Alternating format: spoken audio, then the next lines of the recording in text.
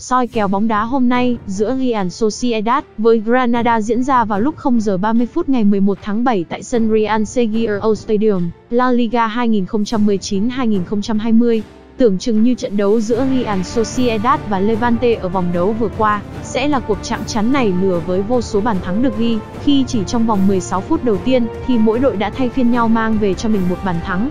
Tuy nhiên, đó cũng là những gì mà đoàn quân của huấn luyện viên Angu ACU có được trong chuyến đến làm khách tại thành Valencia, khi phần trình diễn còn lại của trận đấu không có gì quá đáng kể, nếu không muốn nói là khá tẻ nhạt. Với trận hòa này, thì Real Sociedad đang đứng ở vị trí thứ 7 trên bảng xếp hạng La Liga với 51 điểm, hiện chỉ còn kém nhóm được vào thẳng vào bảng Europa League mùa sau 2 điểm, nhưng thi đấu muộn ở vòng 35.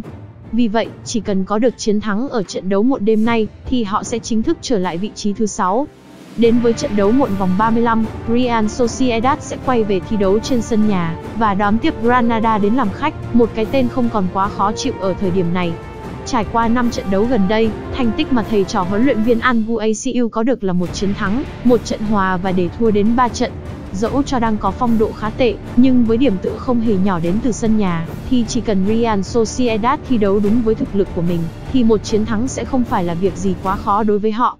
Đừng quên trong 5 lần gặp nhau gần nhất trước Granada, thì Real Sociedad vẫn đang cho thấy sự vượt trội hơn hoàn toàn, khi đã toàn thắng cả 5 trận và trong đó không có trận nào họ ghi ít hơn, hai bàn thắng vào lưới đối thủ. Phía bên kia sân, Granada vừa trải qua trận đấu trên sân nhà thứ ba liên tiếp không có được chiến thắng, khi để cho Valencia cầm hòa với tỷ số 2 đều ở vòng đấu vừa qua. Một trận đấu có thể nói là khá đáng tiếc dành cho thầy trò huấn luyện viên Martinez, bởi đây là trận đấu mà họ đã chơi lấn lướt hơn khá nhiều, khi nắm quyền kiểm soát bóng lên đến 54% và tung ra đến 17 pha dứt điểm về phía bầy rơi. Tuy nhiên, sự chính xác là những gì mà các chân sút của huấn luyện viên Martinez còn thiếu, khi trong số đó họ chỉ có 4 lần dứt điểm bóng đi trúng mục tiêu.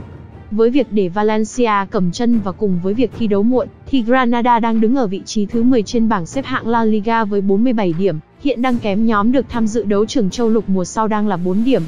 Trở lại với chuyến hành quân lần này, thành tích mà đoàn quân của huấn luyện viên Martinez đang mang theo bên mình cũng chẳng khá hơn đội chủ nhà ở trận này là bao, khi trong 5 trận mới đây thì Granada chỉ mới có đúng một chiến thắng duy nhất, còn lại hai trận hòa và để thua hai trận.